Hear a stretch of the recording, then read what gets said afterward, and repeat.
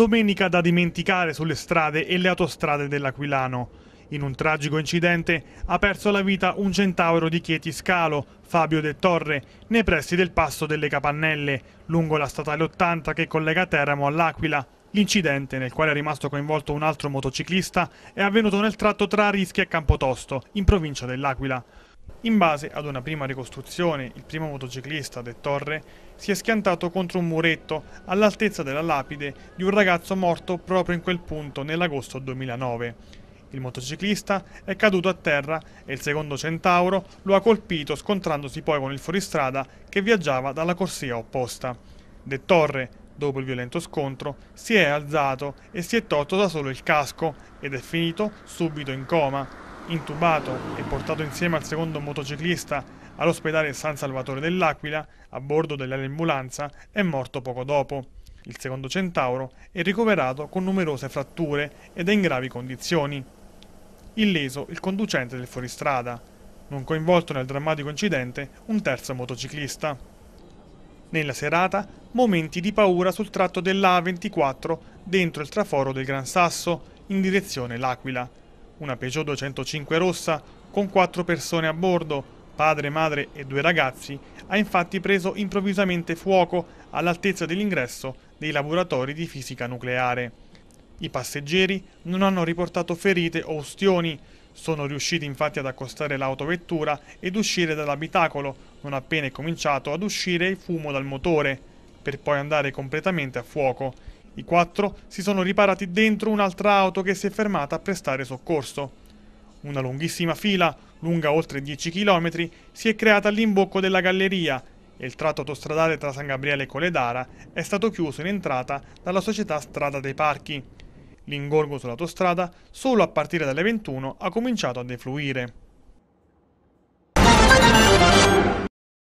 Quadro desolante quello descritto dal Servizio Elaborazione Dati del Comune dell'Aquila, che ha effettuato una ricognizione delle informazioni contenute nella banca dati per l'emergenza in merito alle situazioni dei nuclei familiari su contributo di autonoma sistemazione e contratti degli alloggi del progetto Case sarebbero stati versati milioni di euro di cassa, contributo di autonoma sistemazione, a cittadini che non avrebbero avuto dovuto percepirlo e ci sarebbero contratti di assegnazione degli alloggi del progetto Case intestati a persone decedute.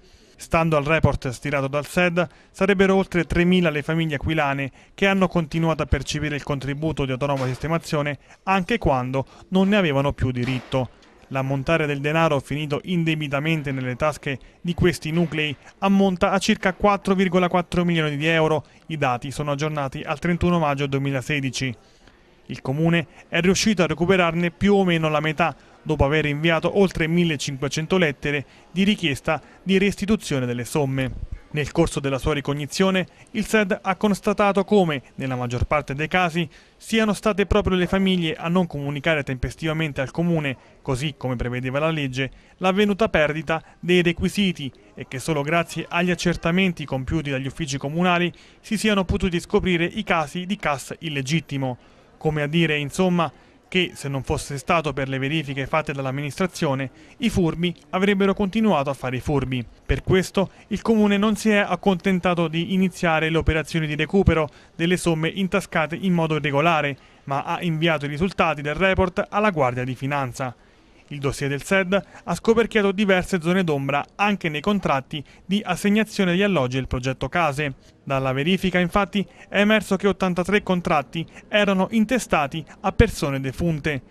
Riguardo ad altre 176 posizioni sarebbero stati riscontrati degli errori nell'intestazione dei contratti e nell'imputazione degli effettivi periodi di occupazione degli alloggi. Per tutti i casi rilevati, si tratta di 523 posizioni, si è provveduto a verificare sulla documentazione cartacea le effettive date di ricorrenza e rescissione dei contratti anche in caso di cambi di alloggio, contattando gli assegnatari nei casi di dubbia imputazione.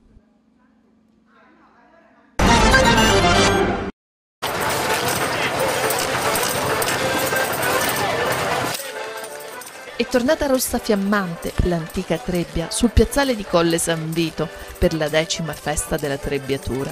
Con il pienone nelle tre giornate, la manifestazione conferma il suo ruolo di scrigno che conserva e tramanda la tradizione contadina legata alle messi.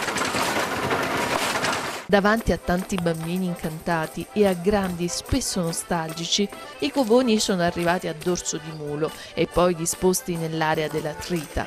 I magnifici destrieri, allevati nel maneggio di San Vito, hanno corso sulle spighe per prepararle alla trebbia.